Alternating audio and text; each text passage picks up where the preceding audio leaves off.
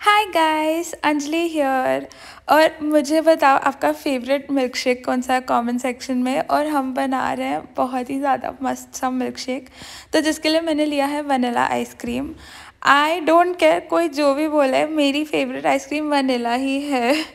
Let me know in the comment section आपकी favourite ice cream भी क्या है?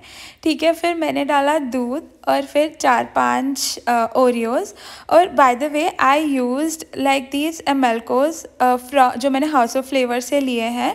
और इसमें ना ऐसे इंस्ट्रक्शन दी हुई है कि कितना डालना होता है तो I put in two percent of the coffee एमेलको and इसको खोलते ना बहुत ही ज़्यादा मस्त स्मेल आ रही थी कॉफ़ी की.